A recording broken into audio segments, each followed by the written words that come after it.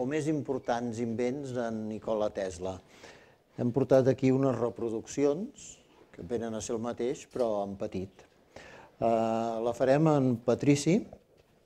En Patrici és qui ha una mica muntat i dissenyat aquests aparells que farem servir i jo sóc en Víctor Grau. Bé, doncs comencem. Aviam, Tesla, potser us sona, ha estat un dels més grans inventors que, que hi ha hagut a la història. Va inventar de tot. Eh, va néixer el 1856 a Croàcia, en un poblet. Fixeu-vos, això és una foto de la seva família, i ell és aquest. Està apartat. Aquesta foto ja és peculiar, eh? Era un individu una mica peculiar i ho va ser tota la seva vida i de vegades queda més això que les seves aportacions, cosa que és una pena.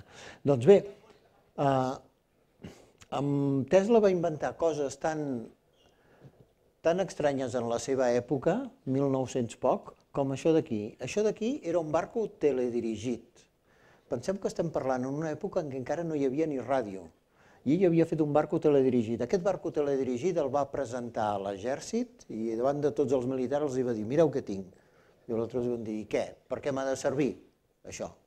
No li van fer ni cas. En tot moment va ser una persona molt avançada a la seva època. Eh? Veurem alguns aparells, com aquest d'aquí, els, els circuits oscil·ladors, que ell ja va fer servir i que fins fa pocs anys, em sembla que va ser el 2009, en el MIT no van recuperar i ara és tecnologia puntera que estan investigant. Bé, doncs després de la seva infància, eh, eh, al llarg de la seva vida, Nikola Tesla va ser una persona reconeguda en molts àmbits, eh, socialment, eh, dins del món polític fins i tot, dins del món científic, perquè va fer moltíssimes aportacions. Tenia una cosa Tesla, i és que no era gens egoista. És més, no sabia treure profit dels seus invents ni de les seves patents. De fet, no patentava res. Això va fer que al final de la seva vida morís molt pobre.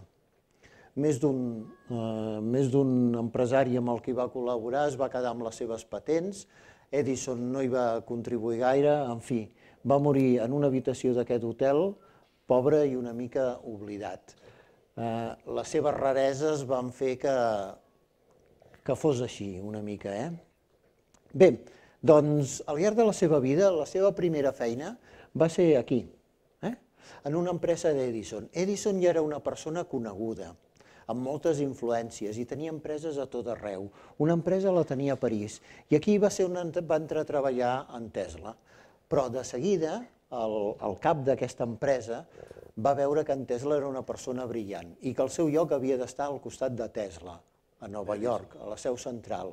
Llavors va, li va fer una carta de recomanació i li va dir porta-li aquesta carta a l'Edison. I així ho va fer. La carta deia això. Conec dos homes de gran intel·ligència. Un és vostè, referint-se a Edison, i l'altre el qui porta aquesta carta, en Tesla. Eh? Eh, bé, i aquí va començar a Nova York a treballar en aquesta empresa amb l'Edison. L'objectiu que tenien era electrificar la ciutat, fer generadors de corrent, portar el corrent a les cases. Això que per nosaltres és habitual, el 1880 no ho era, no existia eh, i van començar a la ciutat de Nova York. Eh, es van posar a treballar i de seguida aquí van sorgir dues opinions. Eren dos serveis brillants i dues persones molt, molt, molt hàbils també eh, a l'hora de construir coses. Edison defensava i volia electrificar les ciutats i fer-ho tot a base de corrent continu. El corrent continu és aquest que tenim a les piles, que té un positiu i un negatiu. Eh? I el que tenim en els, si algú de vosaltres té una bicicleta amb, amb una dinamo, allò que va girant per encendre el llumet, allò també és corrent continu. Mm? Però en canvi en Tesla venia amb idees més noves i en Tesla parlava, veieu aquí, d'un corrent que va a dreta i a esquerra, ara en un sentit, era en l'altre. Això és el corrent altern, que no hi ha un positiu i un negatiu, sinó que moltes vegades per segon això va canviant. És el corrent que hi ha a la xarxa, en els endolls. Si mireu en els endolls mai diu positiu i negatiu, perquè no n'hi ha, perquè van canviant constantment. Aquest corrent altern sobre el que hi havia poca cosa feta. Per exemple, màquines per fer corrent altern, no n'hi no havia, en Tesla. En Tesla va ser un pioner. I gràcies al corrent altern va poder inventar coses com això que veurem aquí, les bobines de Tesla, els circuits oscil·ladors, etc. I gràcies a això podem estar al nivell que estem tecnològic. Doncs bé, eh, aquesta batalla, aquesta discrepància entre corrent continu i corrent altern va portar a que Edison i Tesla es separessin. Eh? Va ser una batalla molt dura i si busqueu a internet i busqueu batalla dels corrents o guerra dels corrents, trobareu aquesta lluita que, que no va ser només dialèctica entre tots dos. De fet, Nikola Tesla és el que estava encertat. Eh? El corrent altern, ara veurem per què, és fàcil de transportar. En canvi, el corrent continu no. S'haurien d'haver fet cables molt gruixuts, molt pesants. Mm? Tesla tenia molts arguments. Edison no en tenia. I Edison el que intentava fer, eh, com fan les persones que no tenen arguments, és intentar desacreditar l'altre, i això va fer. Ho va fer de maneres tan bèsties com per demostrar lo dolent que era el corrent altern, agafar un cavall i electrocutar-lo amb corrent altern i dir, veieu que dolent que és el corrent altern? O agafar un elefant. Va arribar a matar un elefant electrocutant-lo. Bé, doncs eh, en aquesta pugna, mentre hi havia aquesta pugna, Edison es va associar amb aquest empresari i van fundar General Electric, que us deu sonar, i Nikola Tesla es va associar amb Westinghouse, un altre empresari, i van fundar Westinghouse. Mm? Bé, en, aquesta, en aquest temps, aquesta dècada dels 80 als 90, van començar a posar el corrent a, a Nova York. Mm? Fixeu-vos al principi, això és una foto, no és un dibuix. Els carrers estaven plens de cables, era una passada, era una brutalitat. Eh? I va haver-hi un hivern que va ser especialment desgraciat, el 88. Va haver-hi 200 morts a Nova York només per culpa dels cables, perquè com que fa molt de fred, s'hi acumulava gel que queien i la gent moria electrocutada. Clar, això era una gran pega. Eh? I això l'he dit, veieu, veieu, igual com amb l'elefant, això és els mals del corrent altern. Tot i que Edison va intentar soterrar-los per evitar morts amb el seu corrent continu, estaven tots dos treballant, doncs no ho va aconseguir. No ho va aconseguir, i no només això, sinó que l'Edison li va prohibir en Tesla que fes servir les bombetes. Heu sentit que la bombeta la va inventar Edison, cosa bastant discutible, eh? i tenia més recursos, però que la inventés no està clar. Llavors el Tesla va dir, ah sí, bueno, doncs em faré les meves bombetes.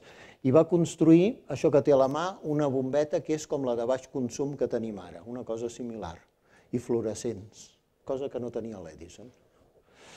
Per tant, aquest home tenia molts més recursos. Bé, doncs entrem de ple.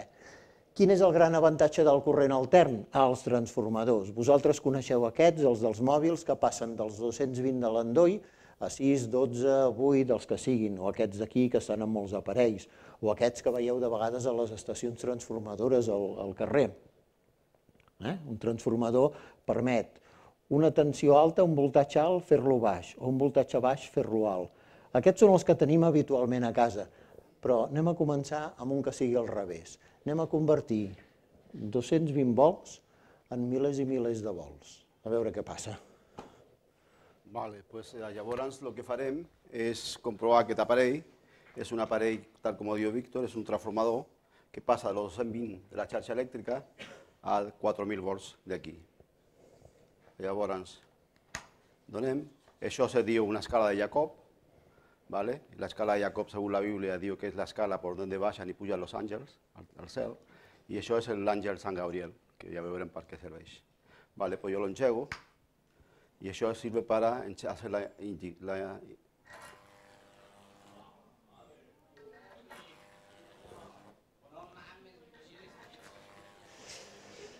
Vale, pues llavors això el que fa és crear l'arc, l'aire se ioniza, se fa conductor i l'aire, com està molt calent, va hacia dalt, va, va pujant, pujant, pujant, fins que arriba un moment que ja el, diguem, la distància és molt gran que s'extingueix l'arc. I això pues, és el típic d'un transformador de 220 a 4.000 volts. Fixeu-vos que això amb la idea d'en Edison no es podria haver fet, perquè el corrent, els transformadors només funcionen amb corrent altern, no pas amb corrent continu. Per tant, això no existiria. O un altre repte. Tothom ha fet servir una bombeta... Ai, perdó, les piles d'un i mig les coneixeu, això és una pila d'un i mig, que no passa res, la toques i no et passa el corrent. En Patrici té una bombeta de 220, la veieu, no? Està enxufada a 220. Podríem amb una bombeta, ah, perdó, amb una pila d'un i mig encendre la bombeta de 220? Gràcies a, a les aportacions de Tesla, doncs sí. I ara ho veureu. Posem la bombeta, llavors, tal com diu Víctor, pues tenim un transformador, que seria més o menys la versió aquesta, d'un voltatge d'un i mig, encendre aquesta bombeta de 220 i s'encén. ¿Vale? Llavors, per què? Perquè hem dit que el corrent continu no, no, no funciona perquè té que induir una corrent que sigui alterna per a poder elevar la tensió. Que, lo que fem aquí és el corrent continu de la pila, passar-lo a través d'un circuit, que és un circuit conversor, el que és un oscil·lador, llavors converteix la corrent contínua en alterna, pulsant. Llavors això entra al transformador a los 6 volts que ha aquí i los converteix en 220. ¿vale? Es lo que decía Víctor, que la potencia es igual y pueden ser transformados elevador de tensión o lo que normalmente es normal es de, de 220 a 100 volt, per exemple, a los mòbils. Molt bé, doncs eh, ja tenim el, el transformador, peça clau en l'ús del corrent altern i per fer coses com l'escala de Jacob i moltes altres que veureu. Però l'altra cosa que necessitava en Tesla era fer generadors, que en aquell moment no n'hi havia. I ell va començar a fer generadors, màquines que generessin corrent altern. No era fàcil de fer perquè no, no, no es tenia el domini. Si vosaltres veieu un generador de corrent continu i un de corrent altern, externament no en veureu la diferència.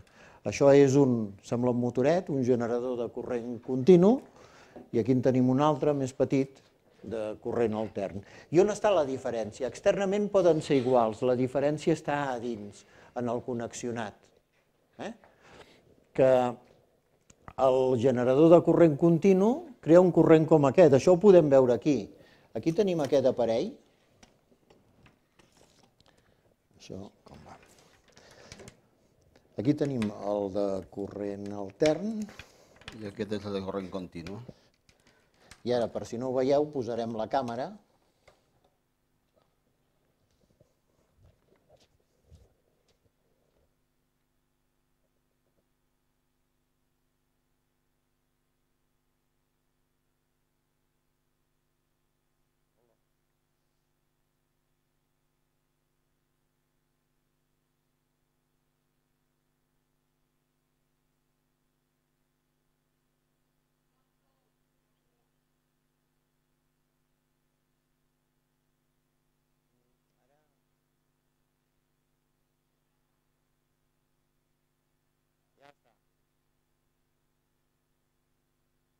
Vale. En aquesta banda tenim un microamperímetre, aquest tenim, eh, on està l'agulla enmig és un 0, llavors veure, veurem que puja l'agulla cap a un, a un màxim positiu i per un, un mínim negatiu, o sigui, un màxim negatiu.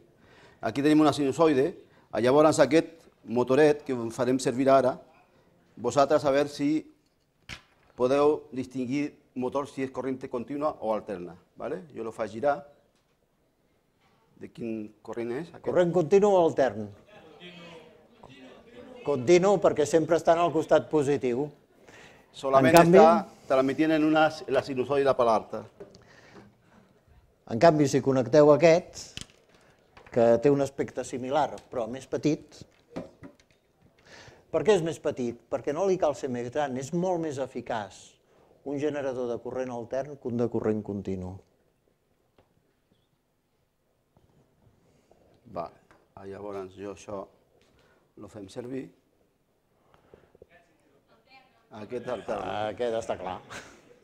Vale? I, i el que diu l'eficiència al Víctor, si agafem una, una bombeta de 12 volt, amb aquest de, de corrent alterna, connectem la bombeta aquí,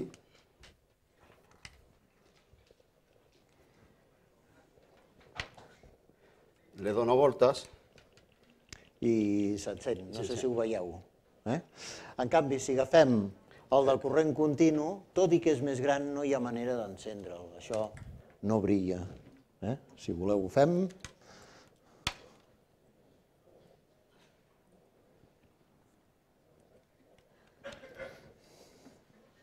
aquest, per més voltes que lo le, le, le donem, que va, res.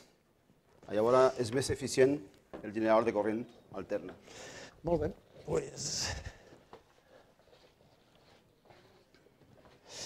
Ja tenim els transformadors, els generadors de corrent alterna i de corrent contínua. Quin altre invent us portem aquí? Doncs la bobina de Tesla. Què és la bobina de Tesla? La bobina de Tesla és una cosa com això petit que tenim aquí o com això més grandot que tenim aquí. S'assembla a un transformador, però a més a més té un altre element que després us presentarem, que és l'oscil·lador. Un transformador per què? Perquè aquí té poques voltes i aquí en té moltes. I el transformador passa d'un voltatge petit a un voltatge alt, o al revés, i això depèn del nombre de voltes que hi ha en un circuit, que és el primari, i el secundari. En aquest cas, poques voltes a moltes voltes vol dir que passem a tenir un voltatge molt alt. Eh? Llavors, començarem fent servir aquesta bobina de Tesla.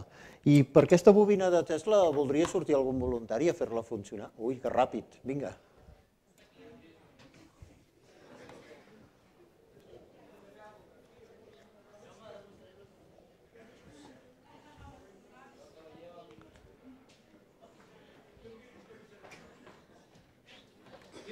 Per aquí, per aquí passa. No, millor pel darrere. Com et dius? Mohamed. Mohamed.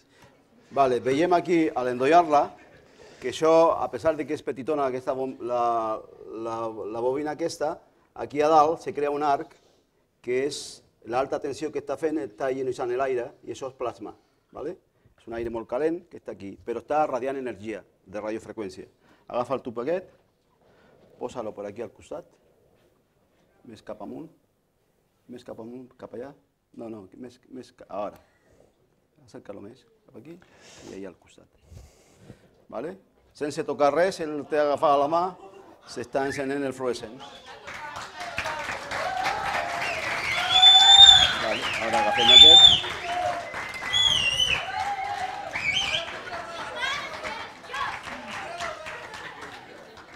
Vale? i podem tindre la, les dues a l'hora. Vale?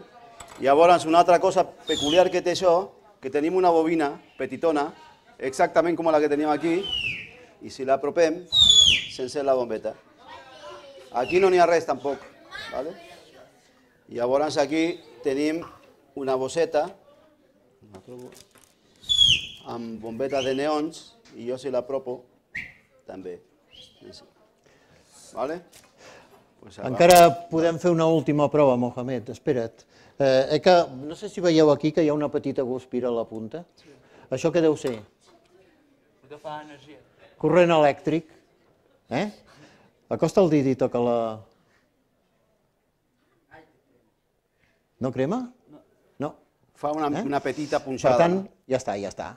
Fixeu-vos que tot i que aquí hi ha milers i milers de vols, no fa mal, eh? perquè hem augmentat molt el voltatge, però la intensitat és petita. Uh, si fem funcionar la gran, ara? Ara podem fer funcionar la gran. Gràcies, Mohamed.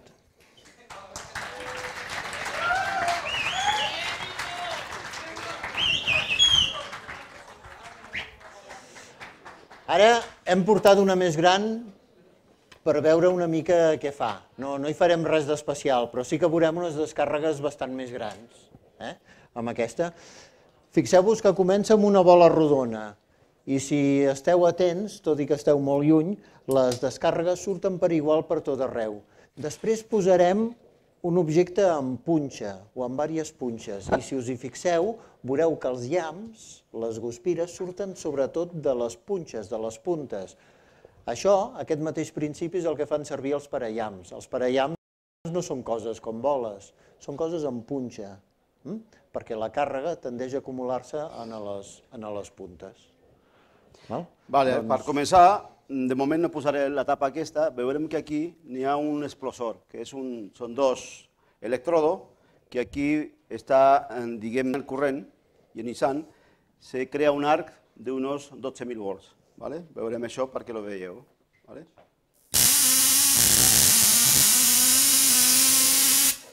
Va. Llavors, ara, perquè no, no us moleste, ficarem això,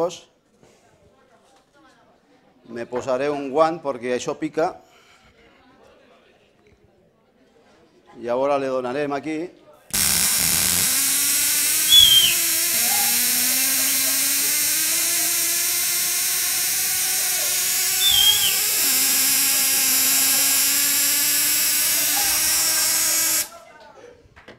Vale, ahora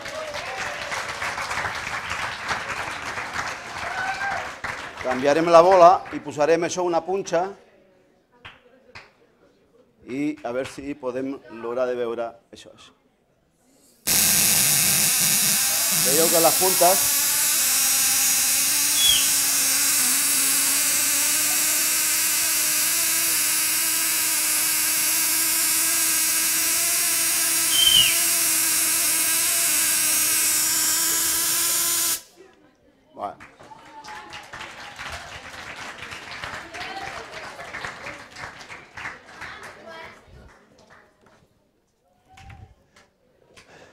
Bé, doncs, Tesla va aconseguir construir alternadors, generadors de corrent altern, transformadors, bobines com aquesta que en generen centenars de milers de volts, si volem, i, i la seva idea, la gran, el seu gran somni era poder enviar energia gratuïta a distància i a tothom. Eh? I llavors aquí té un paper especial el que se'n diu el circuit el circuit oscil·lador. Què és un circuit oscil·lador? Doncs aquí hem portat una reproducció. Eh? Eh, això d'aquí, això que tenim aquí.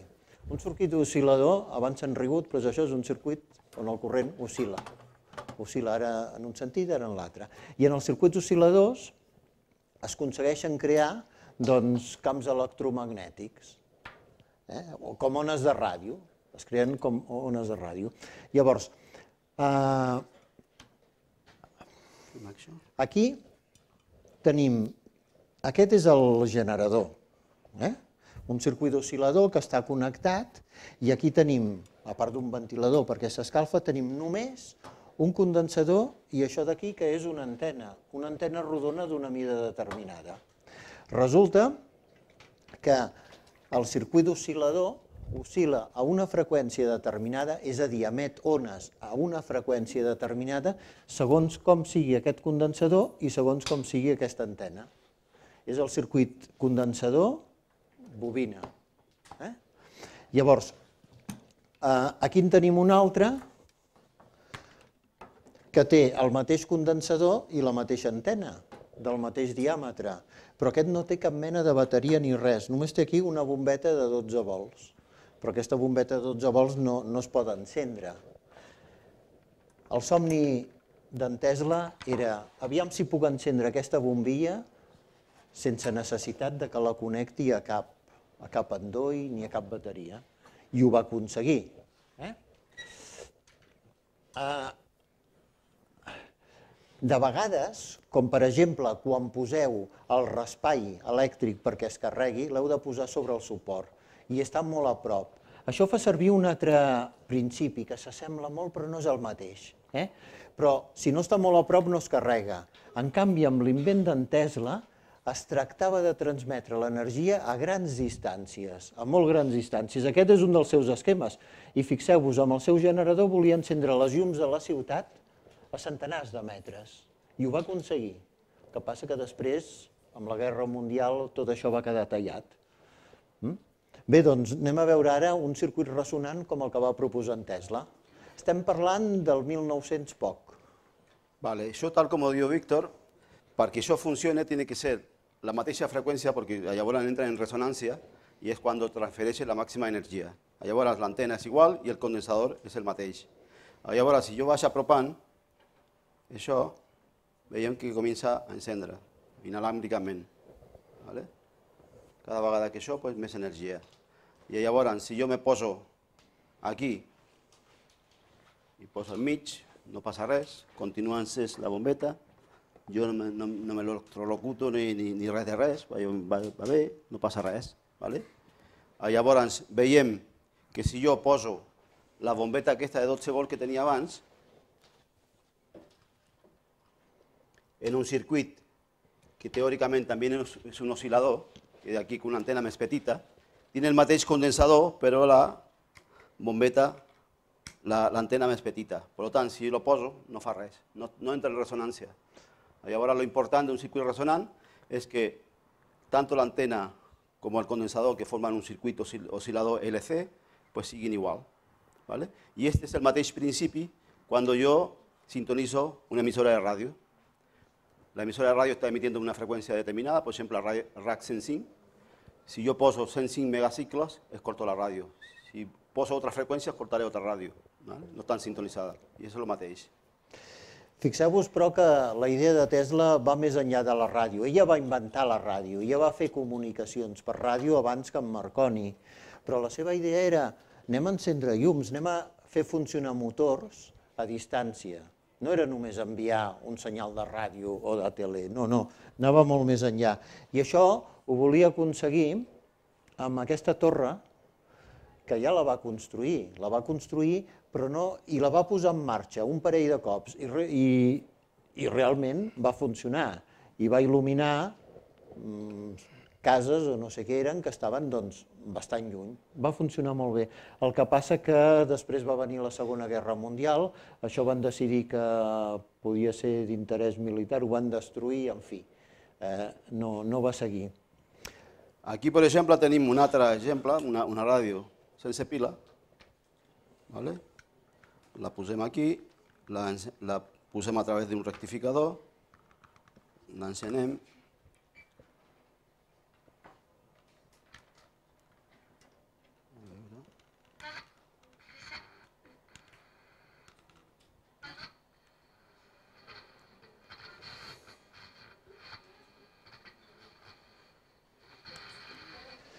Bueno, no sintonitzem, però sentiu que funciona la ràdio i no té piles.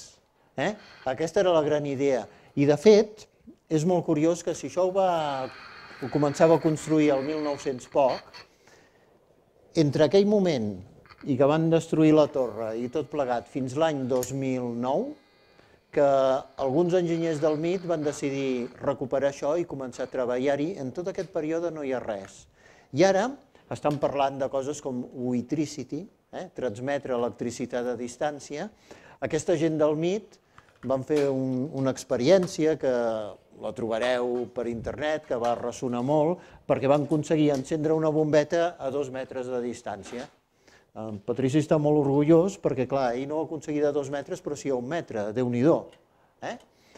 I, I no només això, sinó que estan treballant amb cases i ja estan començant a fer prototipus en què tu entres a la casa, hi ha un circuit com aquest, un circuit oscil·lador, i tots els aparells, les teles, el mòbil, el que vulguis, està amb un condensador i una antena que oscil·len amb la mateixa freqüència, de manera que tu entres i el teu mòbil, si està descarregat, quan entres a casa es comença a carregar. No l'has d'endollar ni res, no calen cables. La tele no cal que estigui endollada en lloc, només li cal això, això d'aquí. Eh? I... El cotxe. El cotxe, el cotxe, aparques el cotxe al pàrquing i el pàrquing té una antena com aquelles i si el cotxe és elèctric se't carrega. Eh? Aquesta era la gran idea, eh? el gran somni d'en Tesla. A través de circuits ressonants, doncs, aconseguir això. I... Plasma. Sí. I per acabar, veurem una altra aplicació una mica més, més rara. Per què pot servir un transformador i, i un circuit d'aquests? Doncs per fer un altaveu sense membrana. Eh? Uh, farem... Heu sentit aquí que hi havia xispes, aquí, hi havia guspires i fan soroll. Un tro què és? És el soroll que fa una descàrrega elèctrica. Una descàrrega elèctrica a l'atmosfera és una descàrrega elèctrica com aleatòria i el soroll que sentiu és un soroll, soroll, és aleatori. Però imagineu-vos que els llams estiguessin modulats, que hi haguessin el ritme adequat. Potser els trons que sentiríem serien trons que ens ressonarien a música. Doncs aquesta és la idea. Anem a modular eh, la guspira que hi ha aquí per fer-ho servir com a altaveu. Vale, est- estem fent la mateixa aplicació de Tesla, estem aquí generant 12.000 volts i modularem la música que està sortint d'aquest aparell i a veure si és capaç de... Demanem algun voluntari? Algun voluntari vol sortir amb la seva música, escoltar-la? Per aquí al davant, va. Sí, home, sí. Però porta el teu mòbil, eh? Sí? No, bueno, doncs te'n deixarem un. Vale, aquí. Ja està.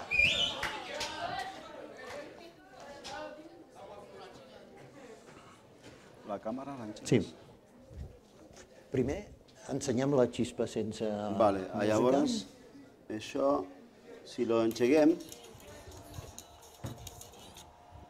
aquí n'hi ha un, l'arc que està sortint, és un arc de plasma, 12.000 volts, i si le donem aquí, donar el play,